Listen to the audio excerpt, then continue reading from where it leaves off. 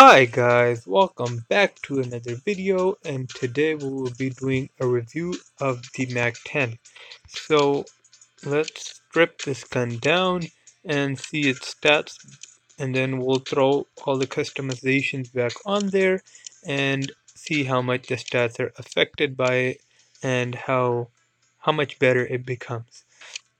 So real quick, the damage of the MAC-10 without any customizations is 15, which is probably the lowest damage of any gun in the game. Uh, the accuracy is 100, which is also pretty terrible, but it has a very high fire rate of 10, uh, the fastest fire rate of a secondary weapon.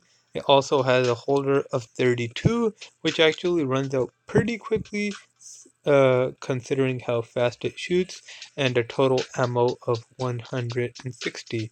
The MAC-10 only has one skin, uh, and that is a camo. Nice green camo, I quite like it. Uh, so real quick, uh, I also have the holographic sight for the MAC-10, uh, as well as the the silencer number 3, uh, the flashlight, or the laser.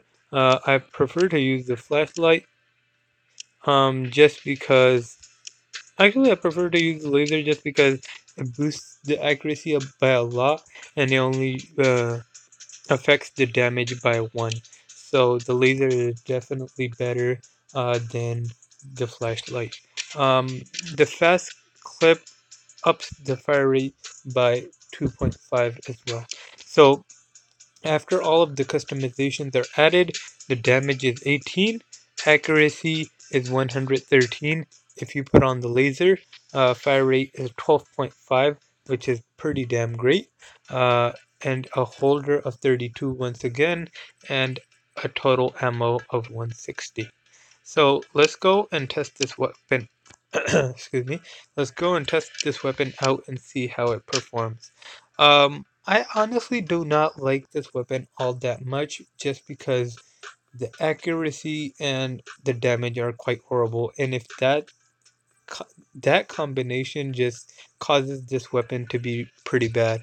Um, the fire rate is pretty good, but if it has a damage of 18, that means uh, you have to land six, uh, six to seven shots to the body uh, to get a kill.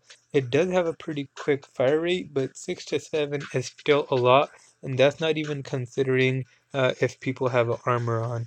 So yeah, um, damage-wise, uh, this gun is pretty terrible, not gonna lie to you guys.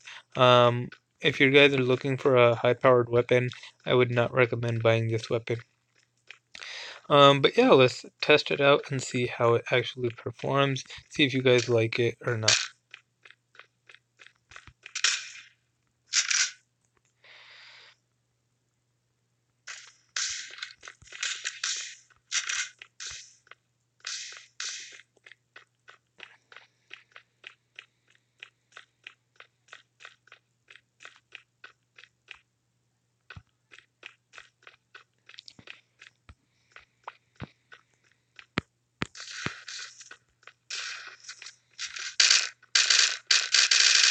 As you see, it takes a lot of shots to take down a person.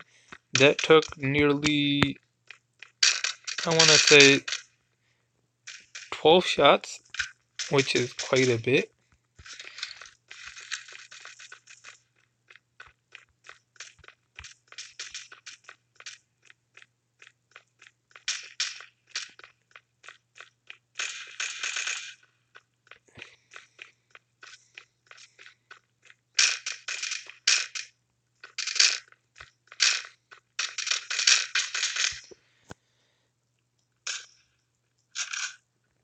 So yeah, as I already said, guys, uh, the damage on this weapon is pretty terrible.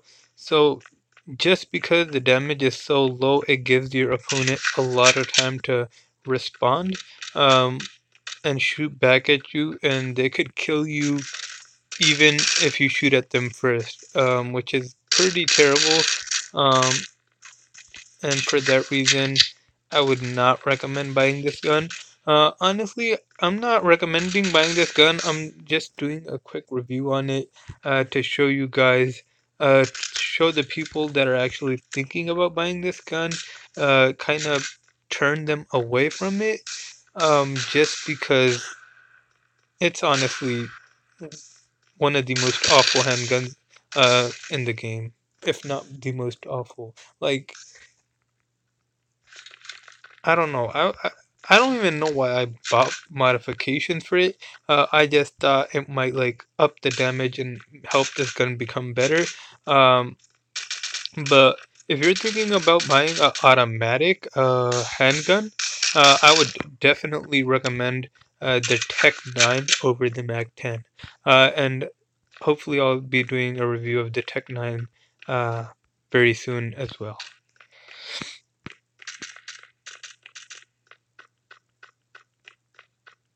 But yeah, guys, uh, that's the video. I hope you enjoyed it. If you did, hit that thumbs up button. Uh, if you like this type of content in general, hit that subscribe button as well as the post notification bell uh, to keep updated on all the content. Um, but other than that, I'll let you guys go. Thank you guys so much for, for watching, and I hope you have an amazing day. Goodbye.